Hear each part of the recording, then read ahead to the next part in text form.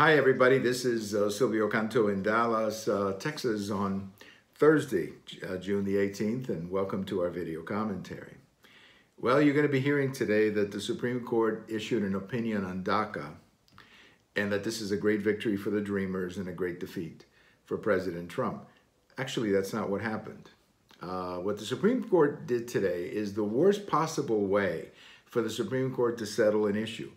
Uh, the Supreme Court basically said, well, we're not going to opine or we're not going to talk about the merits of DACA. We're not saying anything about DACA. We're simply saying that the way that the Trump administration canceled DACA did not live up to some administrative procedures report that Justice Roberts is writing about. This is the worst possible way for the Supreme Court to settle an issue. This is like an umpire saying, well, that's a strike, but really it may not be a strike. That's ridiculous. It's either a strike or a ball. You have to make an opinion.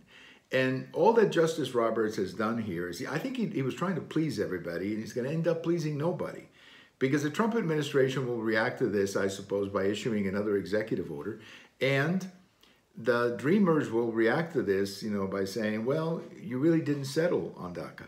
So this is the worst possible way of doing this, and it just makes me angry that the Supreme Court will take a step like this, where they don't really settle anything. They simply say, well, you know, you forgot to follow this little procedure or check that box. It's sort of like, you know, presenting your homework to the teacher, and the next day the teacher gives it back to you without a grade, and you say, teacher, what happened? Why didn't you grade my report? Well, I didn't read it because you, you didn't put the right date on the paper. Well, that's what we have here. This is a, a disaster for Justice Roberts, and it's not good news for the Dreamers. And it just means the issue goes on. The issue is still unsettled. That's what this opinion has, has done. There is really no resolution on DACA, which is a shame because there should be.